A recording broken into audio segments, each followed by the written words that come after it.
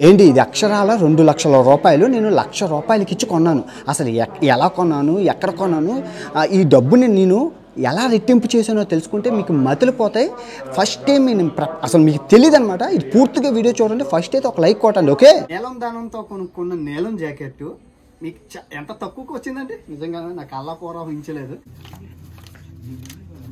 రెండు వేలు మూడు వేలు నాలుగు వేలు ఐదు వేలు ఆరు వేలు ఏడు వేలు ఎనిమిది వేలు తొమ్మిది వేలు పదివేలు పదకొండు వేలు పన్నెండు వేలు పదమూడు వేలు పద్నాలుగు వేలు వెలిగిపోతుంది మెలమెల మెలమెల మెరిసిపోతుంది. ఇప్పుడు నీలం దానంతో పచ్చ కళ్ళజోడు కొనుక్కున్నారు. ఎలా ఉన్నానమ్మా? జిగేలు కదా మెరిసిపోతున్నాను కదా. ఇప్పుడు ఏటీఎం నుంచి మనం డబ్బుని అయితే విత్డ్రా చేసి చూద్దాం ఎంత అవుతుంది ఓకే? డెబ్బై ఐదు రూపాయలకి నాకు వచ్చింది. సో నీలం ధనంతో కొనడం వల్ల డెబ్బై ఐదు రూపాయలకి వచ్చింది. ఎగ్జాంపుల్ చూపించడం కోసం నేను ఇప్పుడు వెస్ట్రన్ యూనియన్కి వచ్చాను. మీరు చూసి ఇక షాక్ అయిపోతారు ఓకే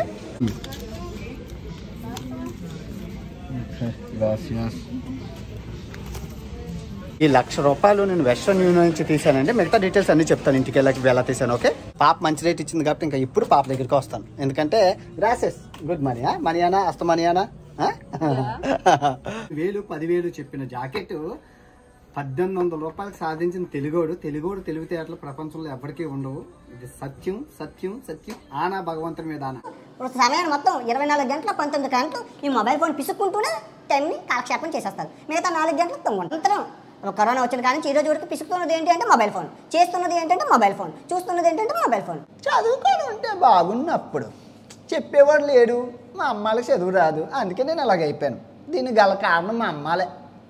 వాళ్ళు చెప్తే నేను ఈ పరిస్థితులు ఎందుకుంటాను? Made in India made in India made in India టర్కీలో టక్కర్ దొంగ సెర్బియాలో సెరెనోడు మోంటెనెగ్రోలో మల్లిగాడు బోస్నియాలో బుల్లోడు దుబాయ్లో దూకుడు ఆర్మేనియాలో అందగాడు ఉక్రెయిన్లో ఒకరిసేండు అండ్ పనామాలో పండుగాడు కోసరేకాలో కొత్తలో రత్తయ్య అండ్ పెరులో పొడుగాడు బ్రెజిల్లో బుజ్జిగాడు అండ్ సాల్వడోర్లో సైనికుడు ఇప్పుడు. అర్జెంటీనాలో ఆడుకునేవాడు. నమస్తే ఫ్రెండ్స్ నా పేరు అన్వేషణ నేను ప్రపంచ యాత్రకుని. వెల్కమ్ టు మై ఛానల్ నా అన్వేషణ. నా కళతో మీకు చూపిస్తాను.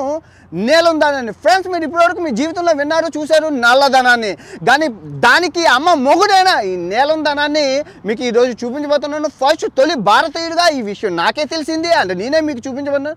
అండ్ తొలి భారతీయుడు. ఈ వీడియోని పూర్తిగా మీరు చూశాక సంభ్రమాచారాలు గురి గురి అవుతారు అండ్ తర్వాత మీరు అంటారు సాహో ప్రపంచ యాత్ర కూడా సాహో అంటారు. మొట్టమొదటిగా చూసుకుంటే మన ఒక డాలర్ వచ్చేసి వన్ యూఎస్డి వచ్చేసి రెండు వందల పది పైసలు. చూస్తున్నారు కదా? వన్ యూఎస్డి ఒక యూఎస్ డాలర్ వచ్చేసి రెండు వందల పైసలకి ఎక్స్చేంజ్ చేస్తారు. మీరు చూసారు కదా? రేట్ చూసారు కదా? ఎయిర్పోర్ట్లో చూసారు కదా? ఎంత ఉంది ఎక్కడెక్కడ ఉంటుంది? డబుల్ కదా? ఇప్పుడు ఒక డాలర్ వచ్చేసి నూట తొంభై ఐదు పైసలు ఇస్తున్నారు. వెళ్ళి కొనేద్దాం. మేడం దా దుకాణం. పాప దగ్గర చూడండి మీకు మీకు అర్థం అవుతుంది ది దుకాణం మేడం గారి దుకాణం. ఇదో మేడం అనమాట సో నేనైతే వంద డాలర్లు ఇచ్చాను. సో ఎంత ఇస్తారో చూద్దాం ఓకే? 100, 1, 2, 3, 4, 5, 6, 7, 8, 9. సో మేడం గారికి నేను వంద డాలర్లు ఇచ్చాను. వంద డాలర్లు అంటే మన డబ్బుల్లో ఏడు వేల ఐదు వందల రూపాయలు. మీ అందరికీ తెలుసు వంద డాలర్లు అంటే ఏడు వేల ఐదు వందల రూపాయలు. ఎంత ఇస్తే మనకి ఎంత ఇచ్చారో ఐడెంటిటీ అయిన పైసలు ఇప్పుడు చూపిస్తాను. వెయ్యి రూపాయలు వెయ్యి వెయ్యి పైసలు వెయ్యి. రెండు వేలు మూడు వేలు నాలుగు వేలు ఐదు వేలు ఆరు వేలు ఏడు వేలు ఎనిమిది వేలు తొమ్మిది వేలు పదివేలు పదకొండు వేలు పన్నెండు వేలు పదమూడు వేలు పద్నాలుగు వేలు పదిహేను వేలు పదహారు వేలు పదిహేడు వేలు పద్దెనిమిది వేలు పంతొమ్మిది వేల ఐదు వందలు. ఇదేంటండి? పంతొమ్మిది వేల ఐదు వందలు అంటే ఇండియన్ రూపీస్లో ఎంతో తెలుసా? పదిహేను వేల రూపాయలు. అంటే మన రూపాయి వచ్చేసి రూపాయి నలభై ఐదు కాబట్టి వదిలేండి మనం ఇంత తీస్తే ఏటీఎం కార్డు మనకి పదిహేను వేల రూపాయలు కట్ అవుతుంది. సో నేను ఎంత ఇచ్చానండి? ఏడు వేల ఐదు వందల రూపాయలు ఇచ్చి పదిహేను వేలు అంటే డబల్ చేశాను. ఇది లీగలా అంటే లీగల్ దీన్ని ఏంటంటారు? నీలం ధనం. దీన్ని అంటారు? నీలం ధనం. చూసారా? బ్లాక్ మనీ కన్నా ఎంత గొప్పదో? చూసారా? ఇప్పటికిప్పుడు అఫీషియల్గా అయితే నాకు అఫీషియల్గా వంద డాలర్లకు ఎంత వస్తుంది? ఎయిర్పోర్ట్లో మీరు చూసారు కదా ప్రైస్ ఎంత అంటే ఒకటి రెండు మూడు నాలుగు ఐదు ఆరు ఏడు ఎనిమిది. అంతే. ఇంతే రావాలి? కానీ దీనికి డబల్ వచ్చింది నాకు. మీకు అర్థమైందా? దీనికి డబల్ వచ్చింది. ఓకే. ఎయిర్పోర్ట్లో కాదు ఎక్కడైనా అఫీషియల్ కాదు. రెండు రకాలు ఉన్నాయి నాకు ఏం అర్థం అవ్వట్లేదు. మీకు అర్థమైతే చెప్పండి ఎంత గొప్పగా ఉందో. ఇప్పుడు వెళ్ళి షాపింగ్ చేద్దాం వీటితో. షాపింగ్ చేద్దాం. ఈ నేలం ధనంతో కనువిప్పు కలిగించడం కోసం నల్లధనం కాదు నల్లధనం అమ్మ మొగుడైన నేలం ధనంతో ఈరోజు మీకు అంటే నేను ఇంగ్లీష్లో చెప్పనండి బాగోదు. సో ఈ నేలం ధనంతో ఈ రోజు నేను ఒక జాకెట్ కొనబోతున్నాను. సో ఆ జాకెట్ మీరు చూసి మీరు షాక్ అవుతారు. ఇదిగోండి. అంత సెకండ్ హ్యాండ్ బట్టలు అనమాట చాలా చవక చాలా చవక. ఎంత చవకగా కొంటానో ఈ జాకెట్లు మీరు చూసి షాక్ అవ్వకండి. ఎలా ఉన్నాయి చూడండి. ఇప్పుడు ఈ జాకెట్ని నేను ఎంత కొంటానో చూస్తే మీరు కళ్ళు తిరిగి పడిపోతారు. అమ్మా బాబు ఇది ఎక్కడ వినలేదురా చూడలేదని. సో ఈ నీలం జాకెట్ నీలం ధనంతో నీలం కొనలేదు. నేను రెడ్ చూడండి ఎంత తక్కువగా వస్తుందో చూడండి. మ్యాజిక్ చూడండి. ఇప్పుడు మీరు ఎప్పుడు వినలేదు మీరు ఎప్పుడు చూడలేదు మీరు ఎప్పుడుకి తె- మీకు ఏంటి తె- ఎప్పుడు వినలేదు దీని గురించి. ఇప్పుడు నేను చెప్తే మీరు షాక్ అవుతారు. కళ్ళు తిరిగి పడతారు. ఇవి కాదు. ఇవ్వండి. ఇది నచ్చింది. సో ఈ జాకెట్ ఇప్పుడు నేను ఎంత అని చెప్తాను. మీరు షాక్ అవ్వకండి. అడుగుతాను చూడండి. ఎంత? ఎంత? కొంత కొంత pesos? 4.500 pesos. ¿Cómo te llamas? Paula. Paula. Gracias. Cuatro. Cuatro Serían 4. పైసలు సో నాలుగు వేల ఐదు వందల పైసలు అంటే మనకి ఎంతకు వచ్చినట్లు మన రూపాయిస్ India rupees in India rupees అకి పైసోస్ అకి పైసో అర్జెంటీనా పైసో లా ఇండియా రూపీ. సార్ రూపీ మూడు వేల రూపాయలండి. మూడు వేలు. ఇప్పుడు చూడండి. డాలర్? కొంత డాలర్? అయిపోయి డాలర్. One ninety.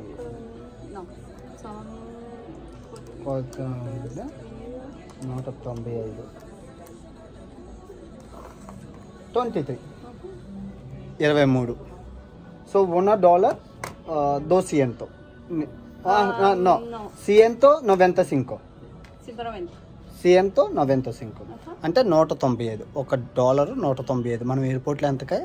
వంద రూపాయలు కొన్నా వీళ్ళు నూట తొంభై ఐదు ఇస్తున్నారు. ఇదే నల్లధనం యొక్క ఇది. గ్రాసెస్ ఉన్న parcel. Thank you so much gracias for explanation చూసారు కదా ఇప్పుడు? ఎలా ఉంది? షాక్ అయ్యి కళ్ళు తిరిగి ఏమైనా పడ్డారు? ఏమైనా అయిందా? అంటే నాకు ఎంతకు వచ్చింది మీరు చెప్పండి ఇప్పుడు నాలుగు వందల నాలుగు వేల ఐదు వందలు నా ఏటీఎం కార్డు ఇట్టి నేను ఛార్జ్ చేస్తే ఈ మిషన్లోని ఈ మిషన్లో నేను ఛార్జ్ చేస్తే నాకు నాలుగు వేల రూపాయలు పడుతుంది. కానీ నేను ఇప్పుడు ఎంత కొంటున్నాను? ఇరవై ఇరవై డాలర్ అండ్ మూడు ఇరవై అంటే ఎంత అండి పది ఏడు వందలు ఏడు ఏడు వందల యాభై. ఇంకో పది ఏడు వందల యాభై. అంటే పదిహేను వందలు పదిహేను వందలు ఇంకా మూడు నూట ఎనభై. మూడు వేలు ఇరవై ఒకటి. పది పదిహేడు వందలు కొంటున్నాను. అంటే ఇక్కడ చూడండి ఎవరైనా మీకు ఏమైనా తెలిసి ఎవరైనా చార్టర్డ్ అకౌంట్స్ కానీ ఫైనాన్షియల్లో కానీ ఉన్నవాళ్ళు అంటే నాలుగు వేల రూపాయలకి కొనాల్సిన ఈ జాకెట్ని నేను ఎంత కొంటున్నాను? జస్ట్ పద్దెనిమిది వందల రూపాయలు కొంటున్నాను. అది మ్యాజిక్ నేను డాలర్స్లో ఇచ్చాను. మిగతా చేంజ్ నేను ఇందులో తీసుకున్నాను. ఒక నాకు ఇచ్చేసి నూట తొంభై ఐదు రూపాయలు. నూట తొంభై ఐదు రూపాయల పైసలు. ఇది మీకు నీదే కూర్చొని ఎక్స్ప్లెయిన్ చేస్తాను మీకు. ఏంటి ఇది ఎలాగనేసి ఓకే? సో ఇప్పుడు రాగా మీకు చూపిస్తాను. ఎందుకంటే మీకు అర్థం అర్థం అవ్వాలి. పాప రేటు బాగా ఇస్తుంది కాబట్టి సో నా దగ్గర ఎక్కువ మార్ తర్వాత మారుస్తాను. ఇరవై డాలర్ మనకు రేట్ ఎక్కువ వస్తుంది కదా. ఇది తప్ప ఒప్ప మీరే చెప్పుకోండి. నాకేం తెలియదు నాకేం తెలియదు అఫీషియల్ లేగలు అంటున్నారు పాప రేటు బాగుంది. పౌలా వే అంతే కంపియార్ రేట్ బాగుంది కాబట్టి చాలా మంచిది. అంత కౌంట్ సింకో వెయ్యి రూపాయలు. Serían mil. మిల్స్ వన్ మిల్స్. దోస్ మిల్స్ రెండు వేల పైసలు. మూడు వేల పైసలు. Ok. 800 pesos. ఎనిమిది వందల పైసలు. అంటే మూడు త్రేస్ మిల్స్ వచ్చేసి ఎంతో పైసస్. అంటే ఎంత వచ్చిందో తెలుసా? ఇప్పుడు ఈ మూడు వేల ఎనిమిది వందల పైసలు నేను తీస్తే నాకు ఇంటర్నెట్ ఏటీఎం నుంచి నాకు ఆల్మోస్ట్ నాకు దగ్గర దగ్గర మూడు వేల ఐదు వందలు కట్ అవుతుంది. కానీ నేను ఎంత ఇచ్చాను అమ్మాయికి? పదిహేను వందలు ఇచ్చాను. ఇది ఎక్కడ రండి? ఇది ఎక్కడ? అసలు నల్లదానం కన్నా బాబులాగా ఉంది కదా అంటే ఇదే నేలందానం. నాకు తెలిసి మీకు అర్థమయ్యే ఉంటుంది. మీకు అర్థం అవ్వకపోతే కింద కమెంట్లు చేయండి. నీట్గా ఎక్స్ప్లెయిన్ చేస్తాను. పాప మంచి రేట్ ఇచ్చింది కాబట్టి ఇంకా ఇప్పుడు పాప దగ్గరికి వస్తాను. ఎందుకంటే గ్రాసెస్ గుడ్ మనీ మనీయానా అస్త మనీయానా ఎలా ఉందండి? బాగుందా? పర్వాలేదు కదా? నీట్గానా? స్టిఫ్గా ఉందా? అంటే నీలం దానంతో కొనుక్కున్న నీలం జాకెట్ మీకు ఎంత తక్కువకి వచ్చిందండి? నిజంగానే నాకు అల్లా కూర ఊహించలేదు. పదిహేను వందల రూపాయలకి వాళ్ళు పదిహేను వేలు పదివేలు చెప్పిన జాకెట్ పద్దెనిమిది వందల రూపాయలకు సాధించిన తెలుగోడు. తెలుగోడు తెలివితేటలు ప్రపంచంలో ఎవరికీ ఉండవు. ఇది సత్యం సత్యం సత్యం. ఆనా భగవంతుని మీద ఆనా. సో ఈ నేలం ధనంతో ఒక కలజోడు కొని చూద్దాం. అర్జెంటీనాలోని ఓన్ కంపెనీ అనమాట ఇది. Argentina company. ఇక్కడే తయారు చేస్తారు. నాకు ఎన్నిటిలోని blue blue blue blue blue blue blue నా దగ్గర గ్రీన్ కలర్ లేదు కాబట్టి. ఓకే. సో అప్పుడు వెలిగిపోతుంది. మెలమెల మెలమెల మెరిసిపోతుంది. అంతది. ఐదు వేలు అంటే ఇరవై మూడు డాలర్లు. బా సూపర్ ఓకేనే ఇచ్చేసాది ఓ గుడ్ మనం చిల్లర కూడా ఇచ్చేసాడు. మిగిలింది ఎంత ఇచ్చారు so one dollar is two hundred పైసా రెండు వందల పైసలు thank you so much two hundred పైసస్ is good money they one ninety five you give me two hundred రెండు వందలు ఇచ్చారు అన్నయ్య మంచోడు. కొండ కలజోడు కొనుక్కున్నందుకు. బాక్స్ కూడా ఫ్రీ ఇచ్చారు సో ఎలా ఉన్నానమ్మా? జిగ్ జిగేలు కదా మెరిసిపోతున్నాను కదా. మన కలజోడు ఎక్కువ ఇష్టం. కాకపోతే ఎప్పుడు వంద రూపాయల కళ్ళజోళ్ళే వాడతాం. ఎందుకంటే గాలికి ఎగిరిపోయినా పాడిసి గీతలు పడిపోతే మళ్ళీ కొత్తది కొంటాం. కానీ ఈ అర్జెంటీనా కళ్ళజోడు ఏంటంటే ఇక్కడ తయారవుతుంది? Made in Argentina. So made in Argentina అవ్వడం వల్ల చాలా బాగుంటాయి క్వాలిటీ. ఈ రంగు దొరకదు వంద రూపాయల కళ్ళజోళ్ళు ఈ రంగు దొరకదు. సో అందుకే నేను కొన్నాను. మీకు చూపించడం కోసం నేలం దానంతో పచ్చ కళ్ళజోడు ఎంత కొన్నానో తెలుసా? ఇరవై ఇరవై. అంటే పది పద్దెనిమిది వందల రూపాయలకి ఒక కళ్ళజోడు ఇది నేను నా ఏటీఎం కార్డు. భారతదేశం ఏటీఎం కార్డు వాడి. లేదంటే భారతదేశం డబ్బులు వాడితే దీని ప్రైసు అక్షరాల నాలుగు వేల ఐదు వందల రూపాయలు. నేను అమెరికన్ డాలర్ వాడి కొనడం వల్ల ఎంత అయిందంటే జస్ట్ పద్దెనిమిది వందల రూపాయలకి నాకు ఇది వచ్చింది. సో జాకెట్ అలాగే వచ్చింది కళ్ళజోడు కూడా అలాగే వచ్చింది. ఎంత సవక ఉందో ఇంకా బోల్డ్ కొంటాను ఇంకా బోల్డ్ కొంటాను మీ అందరికీ బోల్డ్ తెస్తాను. సవకే సవక డబ్బులు సవక. ఇప్పుడు ఏటీఎం నుంచి మనం డబ్బుని అయితే విత్డ్రా చేసి చూద్దాం ఎంత అవుతుంది ఓకే? సో నేను ఐదు వేలు తీయడాను ఐదు వేలే వస్తుంది. అంతకన్నా ఎక్కువ రావట్లేదు. అందుకే ఎల్ సాల్వడోర్ నుంచి డాలర్స్ తెచ్చిందనమాట నేను. ఓకే చూడండి. పదకొండు వందల ఏడు రూపాయలు ఛార్జ్ అంటే ఎనిమిది వందల రూపాయలు చా పైసలు ఎనిమిది వందల రూపాయలు ఛార్జ్ చేస్తున్నారు. ఏంటి? వీడియో అర్థం అవ్వకపోతే మళ్ళీ చూడండి. సూపర్ భలేగా ఉంటుంది అనమాట మిస్ కాకండి ఎక్కడైనా. ముందు ముందు ముందు ముందు మీకే అర్థమవుతుంది సినిమా అంతా అసలు ఏం జరుగుతుంది? ఎందుకు ఇలాగ ఎంత డబుల్ డబ్బులు వస్తున్నాయి? ఎందుకు ఇలాగ రేట్లన్నీ ఇలాగ ఇలాగ వెరైటీగా ఉన్నాయని. చూసారా? ఎంత ఎంత వచ్చిందో? సో దీనికి ఇండియన్ అమౌంట్ ఎంత ఛార్జ్ చేశారో చూడండి. అసలు యాక్చువల్గా ఆరు వేల పదిహేను పదిహేడు వందల పైసలు. సి దీ దీనికి ఇండియాలో ఎంత చేసి చేశారు? నాలుగు వేల ఐదు వందల ఐదు రూపాయలు ఛార్జ్ చేశారు. అదే కనుక ఇదే డబ్బుల్ని ఆరు వేల పైసల్ని మనం తీసుకోగలిగితే ఎంత అండి మనకి? మనకి ఎంత వస్తుంది? మహా అయితే పదహారు వందల రూపాయలు అదే. డాలర్స్లో తెచ్చుకుంటే పదహారు వందల రూపాయల్లో మనకు వచ్చిద్దరు. సో మీకు ఎగ్జాంపుల్ చూపించడం కోసం నేను ఇప్పుడు రష్యన్ యూనియన్కి వచ్చి డాలర్లు పంపించిన అది ఎంత రేట్ ఉందో మీరు చూసి ఇక షాక్ అయిపోతారు ఓకే?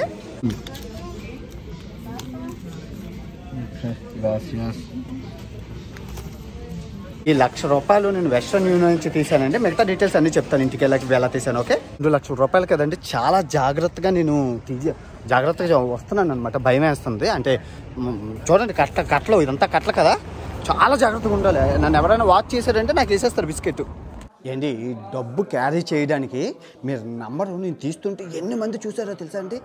చాలా భయం వేసింది తేడానికి ఇంతవరకును ఓకే ఇది అక్షరాల రెండు లక్షల ముప్పై వేల పైసలు. అంటే ఎంతో తెలుసా? లక్ష డెబ్బై వేల రూపాయలతో సమానం. సో ఓకే ఇది నేను ఎలాగా ఎందుకు తీశాను అనేది ఇక్కడ నేను చెప్తే వీళ్ళకి తెలిసిపోతుంది ఆ లాజిక్ అందుకే నేను ఏం చేస్తానంటే తర్వాత చెప్తాను ఇక్కడ మ్యాటర్ చెప్తాను. ఇది నేను పేపాల్ ద్వారా అమెరికాలో ఉన్న ఆయనకి నాకు చాలామంది ఫండ్స్ పేపాల్లో పంపించారు కదా ఆ పేపాల్ అమౌంట్ అమెరికాలో ఉన్న ఆయన పంపిస్తే ఆయన వెస్టర్న్ యూనియన్లో థౌజండ్ డాలర్ పంపించారు. సో ఆ థౌజండ్ డాలరు థౌజండ్ డాలర్ అంటే డెబ్బై ఐదు వేల రూపాయలు కదా? డెబ్బై ఐదు వేల రూపాయలకి ఎంత రావాలి? డెబ్బై ఐదు వేలు రావాలి. కానీ నాకు లక్ష యాభై వేల రూపాయలు ఎలాగొచ్చింది? అదే మ్యాజిక్. ఆ మ్యాజిక్ దాని గురించి మాట్లాడుకుందాం. అంటే నా డెబ్బై ఐదు వేల రూపాయలని నేను లక్ష యాభై వేలు చేసుకున్నాను.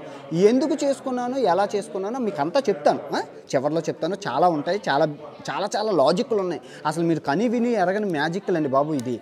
అసలు ఇది తప్పో ఒప్పో ఏం తెలియదు మొత్తం మాట్లాడుకుందాం తర్వాత ఈ డబ్బులు ఫస్ట్ టైం చూస్తున్నాను ఓకే? రెండు వందల పైసలతో మనం ఏం కొంటామో చూద్దాం చూడండి. నేను ఈ జ్యూస్ తీసుకున్నాను అనమాట రెండు వందల పైసలతో యాక్చువల్గా ఈ జ్యూస్ కాస్ట్ వచ్చేసి నూట యాభై రూపాయలు ఇండియన్ రూపీస్లో కానీ నేను రెండు వందలు అర్జెంటీనా పైసలు వేసి ఇచ్చుకున్నాను అంటే అర్థం ఎంత రెండు వందల అర్జెంటీనా పైసలు అంటే ఒక డాలర్ కదా. అంటే డెబ్బై ఐదు రూపాయలకి నాకు వచ్చింది సో నీలం ధనంతో కొనడం వల్ల డెబ్బై ఐదు రూపాయలకి వచ్చింది. లేదా ఇండియా డబ్బులతో కొనడం వల్ల నూట యాభై రూపాయలు. మీకు అర్థం అవ్వట్లేదు కదా? ఇది తాగేసి ప్రశాంతంగా కూర్చొని అన్నీ చెప్తాను. మీకు పూర్తిగా అర్థమవుతుంది ఓకే? సో వీడియో అంతా చూశారు కదండి. ఎలా ఉందండి? బాగుందా? ఓకే. అర్జెంటీనాలో అడుక్కున్నవాడు అని అన్న- అన్నాను కదా. నిజమే కదండి? నేనైతే అర్జెంటీనా దేశంలో వచ్చి బెగ్గింగ్ డిజిటల్ బెగ్గింగ్ అడుక్కోవడం అయితే జరిగింది కదా. నా యాత్ర కోసం మిమ్మల్ని చేయి చేప అడిగాను కదా. మరి అది ఒప్పుకోవాలి కదా. మీరందరూ ఏమంటారంటే ఒక సినిమా చూడడానికి వంద రూపాయలు ఖర్చు పెట్టి వెళ్తాం కదా. అలాగే అర్జెంటీనా యాత్రకి వంద రూపాయలు ఇచ్చేవరా అని అంటున్నారు మీరు. మీరు అలా కవర్ చేస్తున్నారు కానీ నిజం చెప్పాలంటే నేను చేయి చేప అడుక్కున్నాను. ఓకే అది పక్కన పెట్టేసి ఇప్పుడు పాయింట్లోకి వద్దాం. రూపాయి రూపాయి సారీ ఇండియన్ రూపాయి డాలరు అర్జెంటీనా పైసా. అసలు ఎలా అవుతుంది? దీనికి గల కారణాలు ఏంటి ఇవన్నీ మీకు నీట్గా విశదీకరిస్తాను. ఓకే? యాక్చువల్గా ఇక్కడ ఏమైంది అంటే మీరు ఫస్ట్ చరిత్ర చూద్దాం. ఒక డాలర్ వచ్చేసి ఇక్కడ ఒక డాలర్ వచ్చేసి రెండు వేల మూడో మూడో సంవత్సరంలో ఒక డాలర్ వచ్చేసి ఒక పైసా ఉండేది. అంటే ఒక డాలర్కి ఒక పైసా వచ్చేది. ఓకే? రెండు వేల రెండు వేల ఒకటిలోని.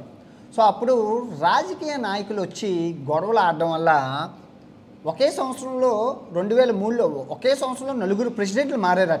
ఒకే సంవత్సరంలో చూసుకోండి. అంటే అంత దరిద్రంగా చేశారు. అప్పుడు చూడండి రెండు వేల మూడులో చూడండి ఒక డాలర్ వచ్చేసి రెండు పైసలే. అంతే అప్పటికి కూడా ఏమైపోలేదు ఇంకా అక్కడి నుంచి దరిద్రం పట్టుకుంది దేశం క్లిష్ట పరిస్థితుల్లోకి వెళ్ళిపోయింది. ఓకే? సో ఈ రోజు ఇప్పుడు ఈ రోజు మనం చూసుకుంటే రెండు వేల ఇరవై రెండు పద పదిహేడు ఫిబ్రవరి చూసుకుంటే రేట్ ఎంత ఉంది వంద. వంద నూట ఆరు. ఎంత ఉంది కదా? చూశారు కదా? ఇప్పుడు ఇది గవర్నమెంట్ పెట్టిన రేటు. ఏమని? ఒక డాలర్కి ఒక డాలర్కి వంద మాత్రమే వస్తుందని గవర్నమెంట్ పెట్టింది. ఓకే? కానీ అనఫిషియల్గా అంటే షాప్స్లోని కానీ దుకాణాల్లో కానీ రెండు వందల ఇరవై రూపాయల నుంచి రెండు వందల ముప్పై రూపాయ పైసలు ఇస్తున్నారు. రెండు వందల ముప్పై రూపాయల పైసలు. బాగుంది కదండి ఇది ఇప్పుడు అంటే ఇది లీగలా ఇల్లీగల్ అంటే లీగలే.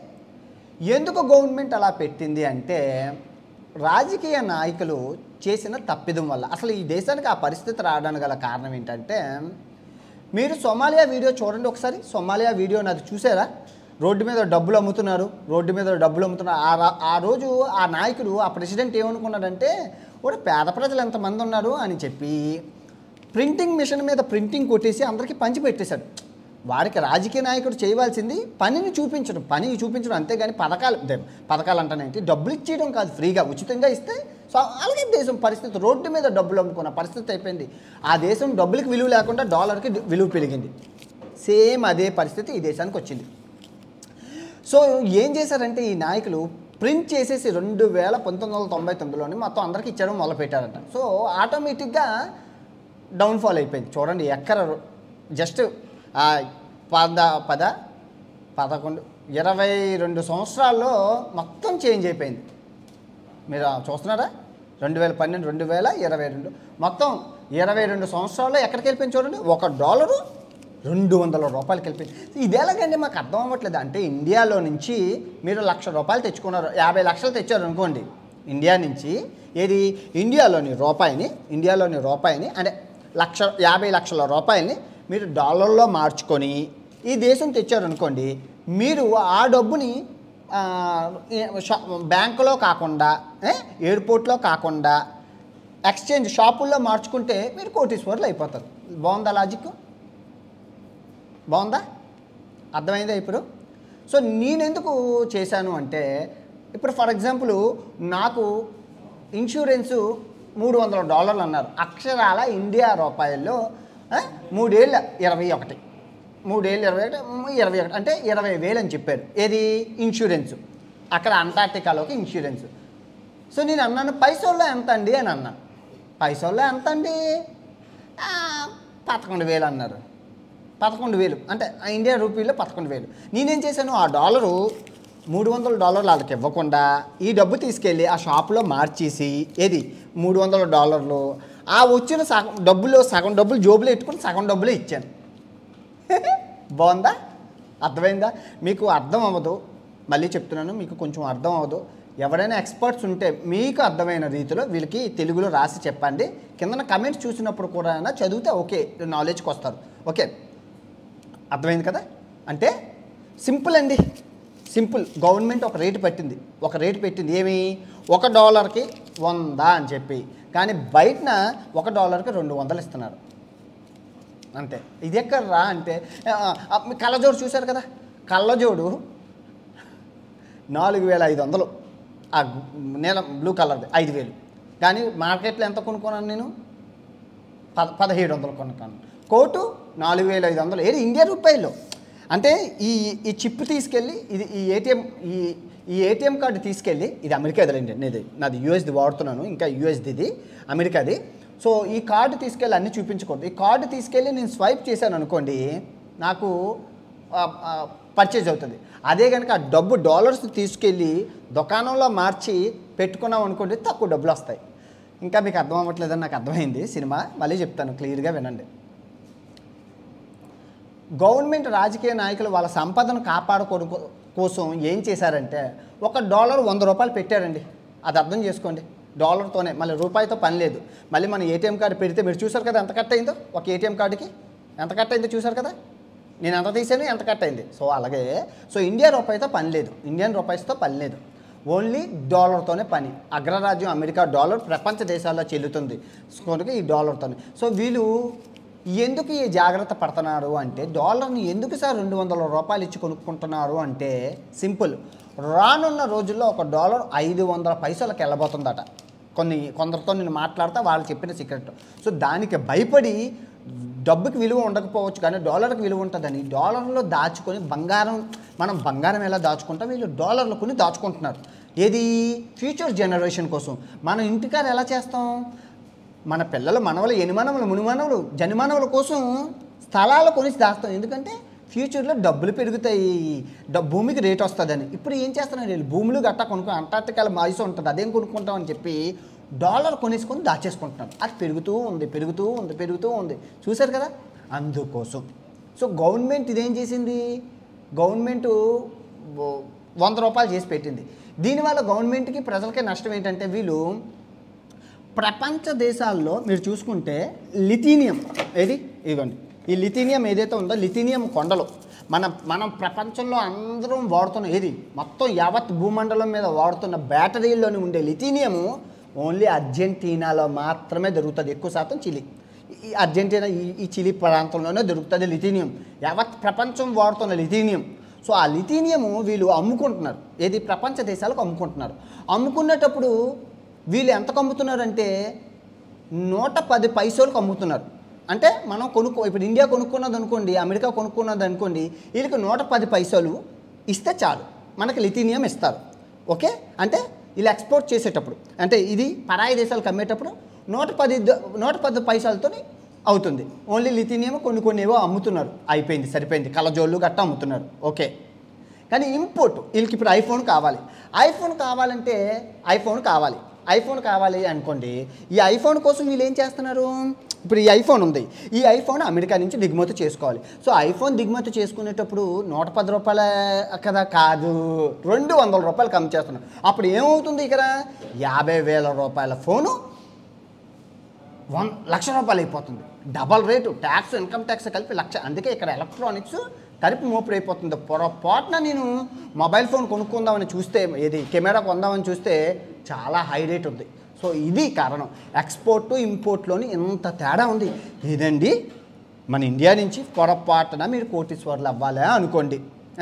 ఇండియాలోని మీరు యాభై లక్షల రూపాయలు డాలరు అంటే ఒక డాలర్ ఒక డాలర్ డెబ్బై ఐదు రూపాయలు కదా మన ఇండియాలోని. మీరు వెళ్తారు మీరు యాభై లక్షల రూపాయలు కట్టేసి అంటే ఎగ్జాంపుల్ చెప్తున్నాను ఇది. ఆ వర్కౌట్ అవ్వదు. అలా చేయకండి. చెట్టనే అందరినీ బొక్కలు వేసి పారేస్తారు. అది చాలా దేశానికే నష్టం అనుకోండి. నేను చెప్తున్నాను ఎగ్జాంపుల్ మీకు చూపించాలి కదా. ఏరా పిచ్చేదవా? అంత అంత డబ్బు ఎందుకు తెచ్చుకున్నాము అంటే పడతాను. అంత డబ్బు ఎందుకురా తెచ్చుకున్నావు అంటే ఏమండి? రియాలిటీగా నేను మీకు చూపించాలి కదండి. రెండు లక్షల రూపాయలు నాకు అవసరమా? చెప్పండి. ఎందుకు తీసానంటే మీకు రియల్ అంట. ఒక రియాలిటీ అర్థం అవ్వాలి. ఏదైనా చెప్పేటప్పుడు అట్టుపండు ఒలిచి నోట్లో పెట్టేటట్లు చెప్పాలని చెప్పి అంత రిస్క్ అయినా అంత డబ్బు నేను పెట్టుకున్నాను. హాస్టల్లో కూడా పెట్టలేదు. నాతోనే తిప్పుకుంటున్నాను. హాస్టల్లో ఏదో తాళం ఎడగొట్టుకొని పట్టుకొని పారిపోతాడు. మళ్ళీ దొరకడు. ఎందుకంటే రెండు లక్షల రూపాయలు కదండి.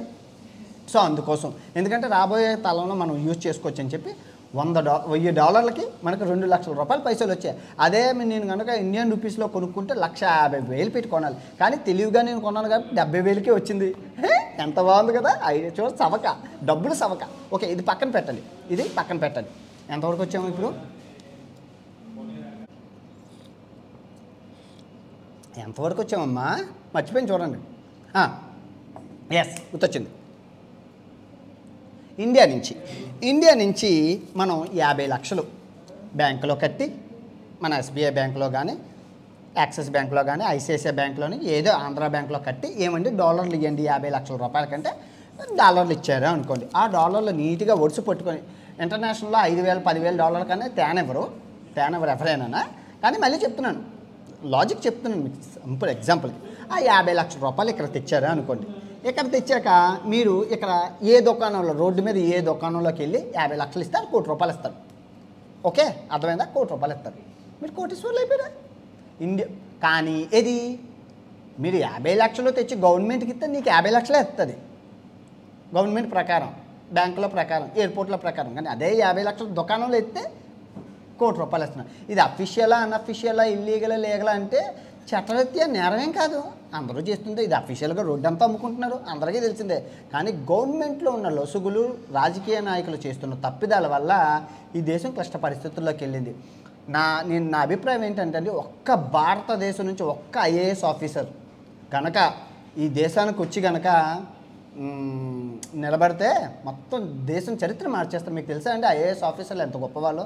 మన దేశం నుంచి పరాయి దేశం వాళ్ళు చాలామందిని అడుగుతారంట. ఇన్ని కోట్లు ఇస్తాం ఇన్ని కోట్లు ఇస్తాం. మీరు ఇండియాలో ఐఏఎస్ ఆఫీసర్ కదా మీరు పలానా పలానా దేశం వెళ్ళి పలానా దేశం నిలబడండి ప్రాణం పోయినా ఒప్పుకోరు. పౌరసత్వాన్ని వదులుకోరు డబ్బుకి ఆస్పడరు దట్స్ ఐఏఎస్ ఆఫీసర్. చాలా చాలా నిజంగా గ్రేట్ అనే చెప్పాలి. రెస్పెక్ట్ ఐఏఎస్ ఆఫీసర్లు. ఈ విషయం నేను చదువుకొని తెలుసుకొని నేను మీకు చెప్తున్నాను.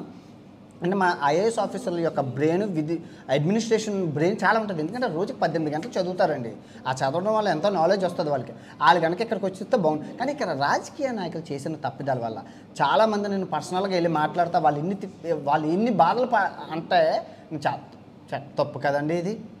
ఒకడేంచి ఒక దుకాణం ఓడించి గవర్నమెంట్ బ్యాంకు వందే ఇస్తుంది రూపాయికి. ఇంకోటించి రెండు వందలు. ప్రజలు ఏం ఎలా కొనుక్కుంటారండి? ఏది కొనుక్కోవాలన్నా ఇంటర్నేషనల్ సామాలు అన్నీ ఎక్కువే. పోన్లండి. మీ అభిప్రాయాలు మీకు మీకు తెలిసిన ఎవరైనా ఎక్స్పర్ట్స్ చూస్తే కనుక ఇవి నీ కింద నీట్గా కమెంట్ చేయండి. ఓకే ఇది పరిస్థితి ఇది పరిస్థితి ఇది ఎలా ఉంది ఇది ఎలా ఉందని. సో ఇప్పుడు నా దగ్గర ఉన్న రెండు లక్షల పైసల్ని జాగ్రత్తగా ప్రతి దానికి నేను వాడతాను. ఇప్పుడు ఇన్సూరెన్స్ కొన్నాను. ఇన్సూరెన్స్ నాకు పదివేలకే వచ్చింది కదా. అదే కనుక నా దగ్గర డాలర్సే లేకపోతే ఏం చేద్దును? సచ్చినట్లు ఇరవై వేల రూపాయలకి నేను ఆ ఇన్సూరెన్స్ కొందును. అంతేనా? టికెట్ అవ్వదులండి. ఎందుకంటే షిప్ టికెట్ అమెరికాలో బుక్ అవుతుంది కాబట్టి మనం ఎనిమిది లక్షలు కట్టాల్సిందే. కానీ ఇక్కడ చాలా సామాన్లు. ఇక్కడ చాలా చవక. అలా చూసుకుంటే కలజోరు చవక అంటే లోకల్ ఇంపోర్ట్స్ ఐస్ క్రీమ్ చవక సూప్ చవక ఇక్కడ తయారైన ప్రతిదీ చవక లిథినియం కొండల చవక లిథినియం చవక అనే చవక చవక చవక చవక. ఎంత చవక? మరి దారుణమైన చవక. ఎక్కడ చూసామండి అంత బ్రాండెడ్ కలజోడు పదిహేను వందల రూపాయల? అంత పెద్ద జాకెట్ పదిహేను వందల రూపాయల? ఇంకా చాలా ఉన్నాయి. ఇంత పెద్ద పెద్ద పీతలు? ఆరు వందల రూపాయలు మూడు వందల రూపాయలు. మరి చవకైపోయింది. అయిపోయింది సో దానివల్ల చాలామందికి నష్టం జరుగుతుంది దేశానికి నష్టం జరుగుతుంది. అలాంటి పరిస్థితి నా భారతదేశానికి రాకూడదు అని నేను కోరుకుంటున్నానండి. మనసా వాచ త్రకం శుద్ధిగా నేను కోరుకునేది ఏంటంటే భగవంతుని కానీ ప్రజలను కానీ మన దేశానికి అలాంటి పరిస్థితులు రాకూడదు. అందరూ చదువుకోవాలి అందరూ తెలుసుకోవాలి ప్రతిదీ. మెయిన్ యువత చదువుకోవాల్సిన సమయంలో ఆ మొబైల్ ఫోన్ పట్టుకొని ఏవేవో చూసుకుంటూ ఎకిలి చేష్టలు వెకిలి అబ్బో ఇంకా చదువున పక్కన పెట్టి పడదోవ పెడితే సేమ్ మనకి ఇలాంటి పరిస్థితి అది అందరూ చదువుకున్నారు అనుకోండి అందరికీ అన్ని విషయాలు అర్థమవుతాయి అన్నీ చేయగలరు ఎవరు చదువు అక్కర్లేదు.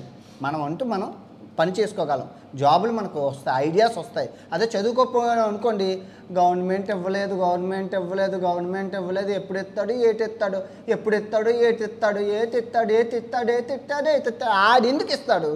గవర్నమెంట్ ఉన్నది విధి విధానాలు చూసుకోవడానికి. మీరు చదువుకోకుండా పనులు చేసుకోకుండా మనం మనం చదువుకుంటే మనకు వస్తుంది ఆటోమేటిక్గా. భారతదేశంలో ఎన్నో అవకాశాలు ఉంటాయి ఎన్నో ఉంటాయి. కూటు కోసం కోటి విద్యలో భారతదేశం అనేది అంబానీ. మన దేశంలో ఉన్నంత సంపద ఏ దేశంలోనే లేదు. ఇది ప్రపంచ దేశాల్లో చెప్తున్నాయి. మన భారతదేశంలో ఉన్నంత సంపద ఏ దేశంలో లేదు. మనం మంచి మంచి మన ఓన్గా సొంత భార- భారత ప్రతిదీ మేడ్ ఇన్ ఇండియా అని క్రియేట్ చేసుకోగలిగితే పరాదేశాల్లో చేయి చేపాల్సిన పనులు ఎందుకు వస్తే క్రియేటివిటీ ఉండాలి. క్రియేటివిటీ ఉండదు. ఓన్లీ యవముండ సీరియళ్ళు యవముండ షోలు దిక్కుమాల సినిమాలు. అంటే పనికిరండి పనికొచ్చిన కారణండి అలా చూసుకుంటూ సమయాన్ని మొత్తం ఇరవై నాలుగు గంటల పంతొమ్మిది గంటలు ఈ మొబైల్ ఫోన్ పిసుక్కుంటూనే టైంని కాలక్షేపం చేసేస్తారు. మిగతా నాలుగు గంటలు తొంగుంటారు. మళ్ళీ లెగుస్తారు మొబైల్ పిసుకుతారు. ఇది పెద్దవాళ్ళకి పిల్లలకి చెప్పట్లేదు. యువత నేను యువత చేస్తున్న పని. ఆ నిరంతరం కరోనా వచ్చిన కాడి నుంచి ఈరోజు వరకు పిసుకుతున్నది ఏంటి అంటే మొబైల్ ఫోన్. చేస్తున్నది ఏంటంటే మొబైల్ ఫోన్. చూస్తున్నది ఏంటంటే మొబైల్ ఫోన్. ఇంకెక్కడ చదువుతాడు? ఆడికి ఏం ఎక్కుతుంది? ఏం ఎక్కదు? శూన్యం. ఎక్కడ శూన్యం అయినప్పుడు ఇరవై నాలుగు సంవత్సరాలు వచ్చేసాక రోడ్లు తొరవడం కార్లు తొరవడం చదువుకొని ఉంటే బాగున్నప్పుడు. చెప్పేవాడు లేడు మా అమ్మాలకి చదువు రాదు. అందుకే నేను అలాగ అయిపోయాను. దీనికి గల కారణం మా అమ్మాలే. వాళ్ళు చెప్తే నేను ఈ పరిస్థితులు ఎందుకుంటాను? ఆస్తి ఏంటి ఇవ్వలేదు మా అమ్మ. మా నాన్న ఇవ్వలేదు. మీ నాన్న మీ అమ్మాయి ఎందుకు ఇస్తారు? నువ్వు చదువుకొని మంచి జాబ్. చదువుకుంటే ఈ దేశంలో మంచి జాబులు ఉంటాయి టీసీఎల్ కంపెనీలు ఇక్కడ ఉన్నాయి బోల్డ్ కంపెనీలు ఉన్నాయి ఇక్కడ దొరుకుతుంది నీకు జాబు? మరి ఉర్వేలో ఉన్నాయి టీసీఎల్ కంపెనీ ఇవన్నీ ఏ దేశంలో లేదు. ఇండియన్స్ అంటే కాళ్ళకి దండం పెట్టి తీసుకుంటారా నాయన. మీ ఎవ్వరికి అర్థం అవట్లేదు. మీ పవర్ మీకు తెలియట్లేదు అందులో సౌత్ ఇండియన్ అంటే రారా బాబు రారా బాబు. సౌత్ ఇండియన్ ఇంటర్వ్యూకి అప్లై చేశారంటే ఆయన తీసుకుంటారు. ప్రపంచ దేశంలో తెలివైన వాళ్ళు యూదులు అంటారు. నిన్న నేను చెప్పాను కదా. ప్రపంచ దేశంలో తెలివైన వాళ్ళు యూదులు అంటారు. కానీ ఆ యూదులు సౌత్ ఇండియా నుంచి వెళ్ళారని నేను చూపించాను కదా. అవునట్లు ఇన్స్టాగ్రామ్లో చూపించాను రేపు చూపిస్తానండి. ఆ యూదులు ఆ సౌత్ ఇండియా నుంచి వెళ్ళారట.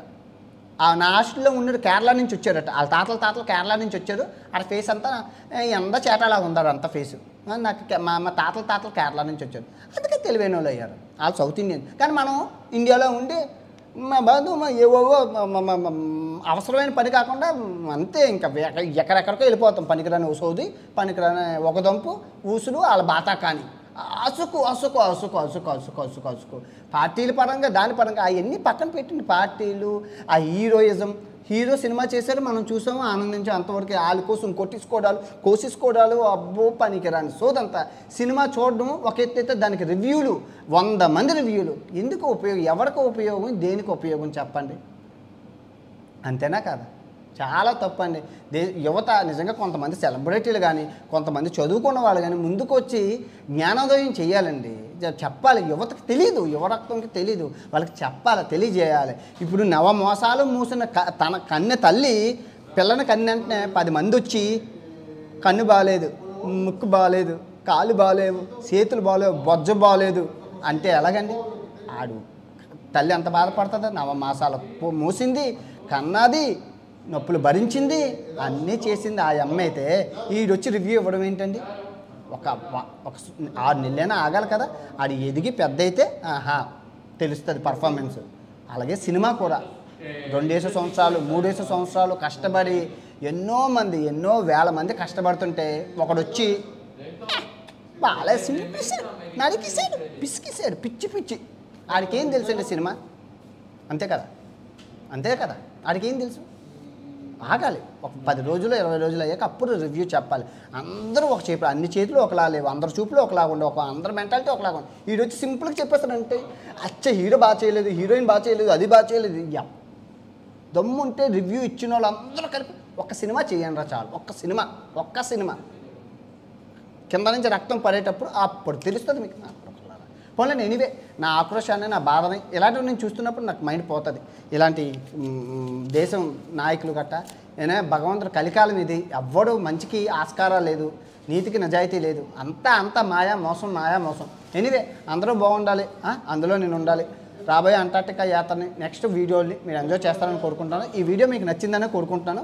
మీ తోటి స్నేహితులకి తోటి ఫ్రెండ్స్కి షేర్ చేయండి. అరే ఇందులో భలే ఉందిరా వెరైటీగా ఉందిరా ఇది. ఈ దేశ పరిస్థితి ఇలాగ అవుతుందిరా. మన దేశానికి ఇలా రాకూడదురా అని. సోమాలియా వీడియో కూడా చూడకపోతే చూడండి. అండ్ స్క్రీన్లోనే ఐ బటన్లో వస్తున్నా అది కూడా చూడండి. సేమ్ ఆ దేశానికి ఇదే పరిస్థితి వచ్చింది. ఓకే మన దేశానికి ఆ పరిస్థితి రాకూడదని మనం అందరం కష్టపడి మేడ్ ఇన్ ఇండియా సామాన్లు కొనాలి. Made in made in made in India కొంటే మన డబ్బు మన దగ్గర ఉంటుంది మన డబ్బు మనకే జనరేట్ అవుతుంది మన మన మారక ద్రవ్యం విదేశాలకు పోదు okay? Made in India made in India made in India. జై హింద్!